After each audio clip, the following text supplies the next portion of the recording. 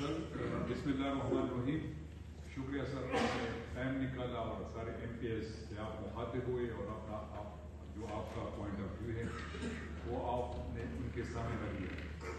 سر، یہ سارے آپ کی ایم پی ایس ہیں جو میرے ساتھ بیٹھے ہوئے ہیں اور ان کی روزانہ ایک ایک استعفیٰ یہ مجھے بھجوا رہے ہیں۔ میں نے کہا، مجھے استعفیٰ نہ بھجوا دیں۔ انشاءاللہ جب خان صاحب کی طرف سے حکم آئے گا تو پانچ دس منٹ لگیں گے اور ہم سب فارغ ہوں گے اور انشاءاللہ واپس الیکشن میں جائیں گے۔ تو وی آر ریڈی سر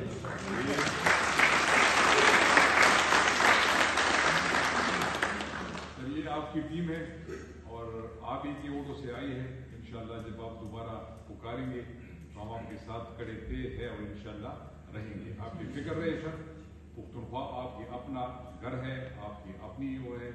تو جب تک آپ کہیں گے انشاءاللہ ہم آپ کے لیے، وہ ویسے تو میں بھی لوگوں پہ ہنستا ہوں کہ جان حاضر ہے تو انشاءاللہ حقیقی طور پر ہماری جانیں آپ کے لیے حاضر ہے سر اور